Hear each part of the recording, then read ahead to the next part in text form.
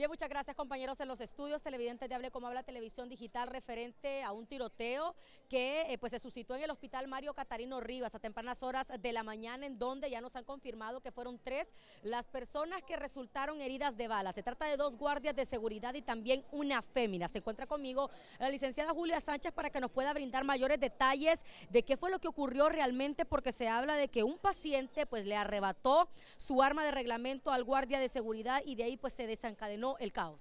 Muy buenos días, licenciada, muchísimas gracias. Eh, efectivamente, lamentamos eh, profundamente esta situación. Eh, pedimos disculpas a los familiares, los pacientes que en este momento se encontraban, al mismo personal que estaba aquí, incluso en, en, el interior del centro asistencial, quien fue un impacto para ellos sufrir esta situación nunca antes vista, por primera vez aquí en el Hospital Mario Catarino Rivas y como resultado de esto hay tres personas heridas, dos guardias de seguridad y una señora que estaba afuera eh, de las emergencias. Eh, hay varias hipótesis sobre esta situación, licenciada. La policía ya está haciendo todo el requerimiento eh, necesario para hacer un informe general. Lo que sí le podría decir es que el paciente estaba ingresado desde el 2 de enero, tenía golpes en su ojo derecho, Producto de ello, el día de ayer fue ingresado a quirófano un paciente masculino de 38 años de edad. El paciente se le atendió como cualquier otro paciente, eh, se le brindó toda la atención necesaria. Una vez que eh, el personal de servicio de esa área, porque estaba en el servicio de recuperación, le mencionó que tenía que trasladarse hacia el área de hospitalización, que eso indica que el paciente ya se está recuperando y que debe de culminar su tratamiento según su diagnóstico y lo que el médico le especifique. El paciente al final se rehusó según las versiones del personal médico.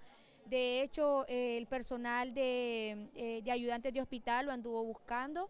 Fue cuando él se le escapó y se trasladó hacia el área de la emergencia, la sala de espera de emergencia, y ahí fue lo suscitado con esta situación. El nombre de las personas heridas, los dos guardias y también la otra dama que pues estaba aquí en el hospital. Eh, corresponden a Freddy Adalid Moreno, de 21 años, presenta dos impactos de bala, uno en brazo izquierdo y mano derecha. El paciente eh, se está haciendo los exámenes pertinentes para descartar si hay fracturas.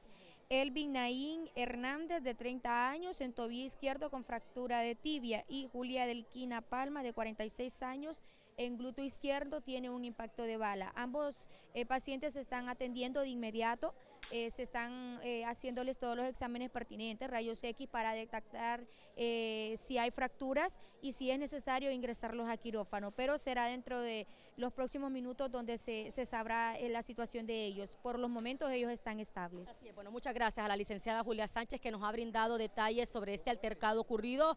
Por su parte, pues el caballero lo que alegaba es que lo querían asesinar al interior del hospital. Obviamente él ya fue trasladado hasta una posta policial en donde las autoridades tendrán que investigar a profundidad la versión que él ha brindado. Con las imágenes de mi compañero Eduardo El Toro Mengíbar, regresamos con ustedes a los estudios.